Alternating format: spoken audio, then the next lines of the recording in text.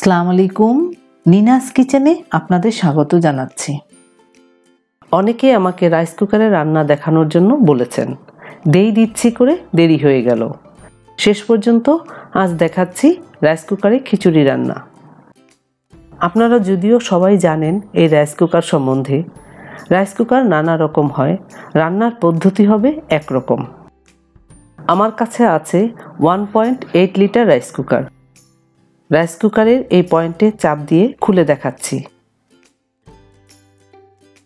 এই পাত্রেই রান্না হবে। পাত্রটি উঠিয়ে দেখাচ্ছি।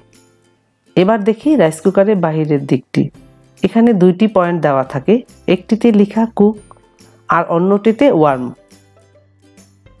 কুকের পয়েন্ট নিচের দিকে দিতে হবে, তখনই রান্না শুরু হবে।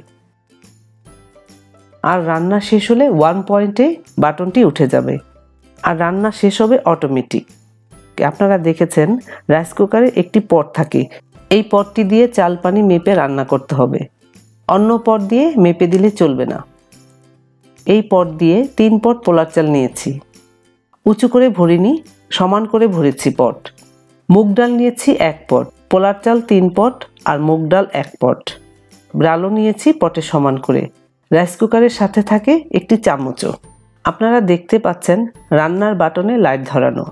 রান্নার পাত্রটি গরম করে নিচ্ছি। এই গরম পাত্রে মুগ ডাল ভেজে নেব। ডাল পাত্রে ঢেলে দিলাম। দুই মিনিটের জন্য ঢেকে দিলাম। ডাল ভাজা হয়ে ঘ্রাণ বের হচ্ছে। উঠিয়ে নিচ্ছি।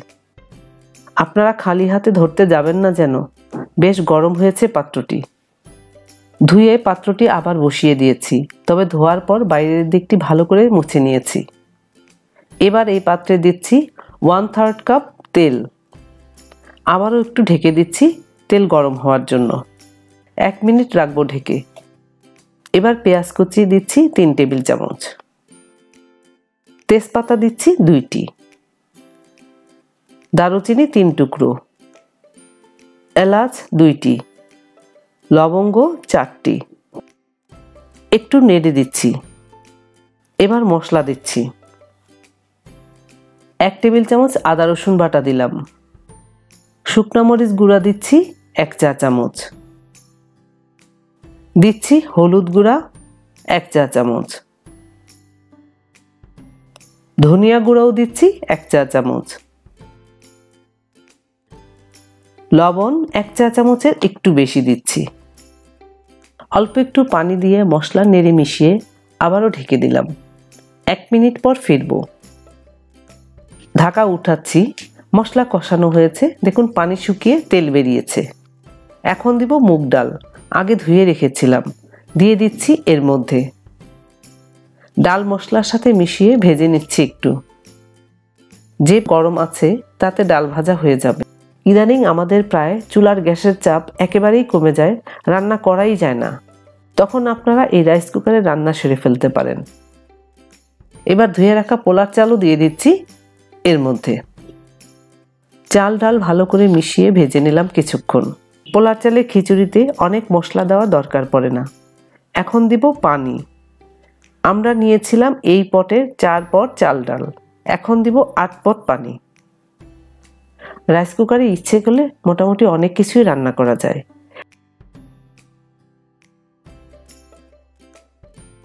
পানি দিলাম সাত পট। আরেক পট পানি দিচ্ছি না। এক পট দিচ্ছি দুধ। গরুর দুধ দিচ্ছি আমি। দুধ দিতে হবে এমন কোনো কথা নেই। ইচ্ছে হলে দিবেন। পানিতে নেড়ে মিশিয়ে দিচ্ছি চাল ডাল। রান্না শুরু হয়েছে, এবার ঢেকে দিচ্ছি। সাত মিনিট পর দেখছি কি অবস্থা। এখনই ফুটে উঠবে। নেড়ে দিলাম একটু। আমি দুই রকম করেই খিচুড়ি রান্না করি। যখন যেমন ইচ্ছে হয়। দেব কাঁচামরিচ পাঁচটি, মুখ চিরে নিয়েছি। আরও দিচ্ছি আধা চা চামচ গোলাপ জল। আপনারা ইলেকট্রিকের পয়েন্ট ঠিক আছে কিনা ভালোভাবে দেখে নেবেন। আবারও ঢেকে দিলাম। রান্না শেষ হলে আপনাকে জানান দিবে, একটি শব্দ হবে, বাটনটি উপরে উঠে যাবে। বাটনটি উপরে উঠে গিয়েছে, ওয়ার্মে চলে এসছে। একটু খুলে ঘি দিয়ে ঢেকে দিচ্ছি আবারও দশ মিনিটের জন্য। এখনও ঝরঝরে হয়নি। ফাইনালি খুলে দেখাচ্ছি। একটু ঘুরিয়ে দিচ্ছি দেখার সুবিধার জন্য। এবার দেখুন, ঝরঝরে হয়েছে রাইস কুকারে পোলার চালের খিচুড়ি।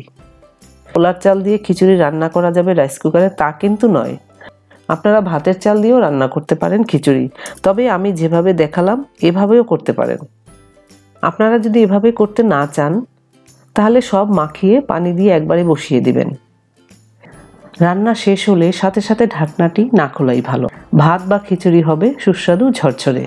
এবার রাইস কুকারে খিচুড়ি পরিবেশন করুন।